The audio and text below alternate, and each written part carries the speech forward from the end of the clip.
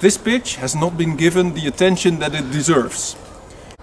It is closed on the foot end, very stable, very windproof. It is also closed on the front end, so you get 360 degree protection. Let me show you the shelter first. Then there will be a setup instruction. Then I will show you a video of me in real time pitching this shelter. And then of course you hit subscribe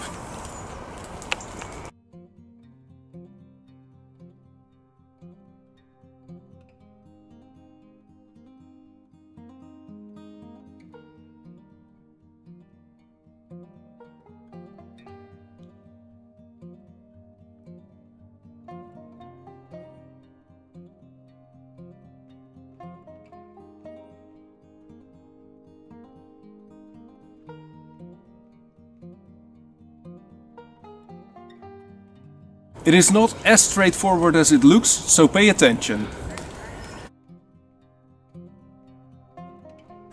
Start with the back. We're going to stake out the two back corners and don't put them all too tight. You will find out later why that is.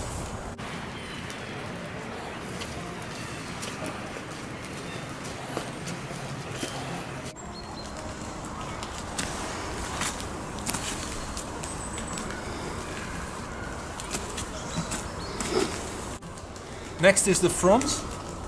We're going to put up the peak.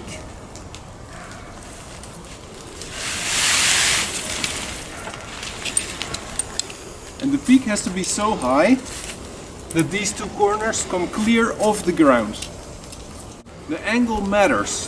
If I go too far to the left or too far to, the right, you can't make your shelter right.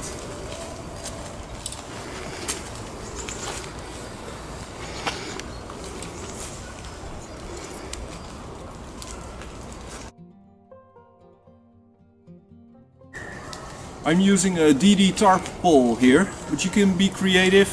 A found stick is just as well, um, but this pitch is really suitable for tying this up to an overhanging tree branch. Don't stake this corner just yet, but start with these.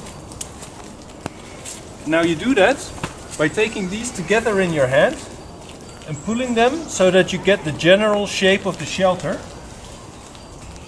Then you grab the next tie out and you pull it wider so that you get a roomy shelter. Do mind the angle at which you stake out. Don't angle it like this, that will only put pressure over here.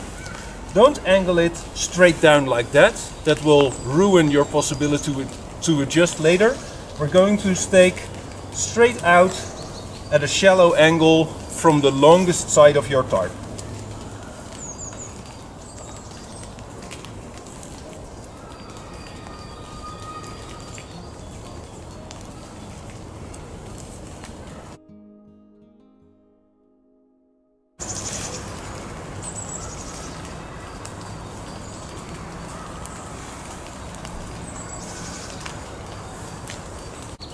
We're staking the rest of the sides tie-outs. The pointer here is that you don't stake them out very far to the side. This will lower the height of your shelter tremendously. Now if I pull the lifter point in the back, you're going to see why I didn't push pull this all tight. This is because of this. This one goes in, this one goes up. So it needs a little room to go inwards.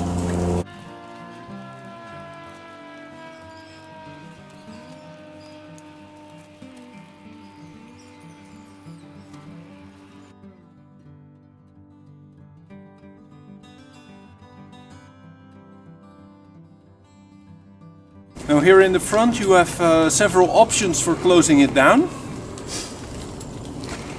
If you have wind from the back or it's not that cold you can go straight down like this.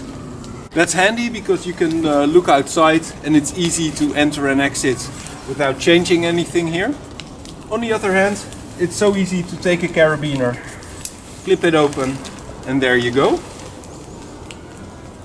If it's really windy out, it's a good idea to cross the front.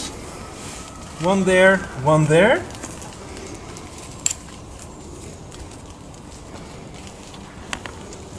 and you stake them out diagonally to the side.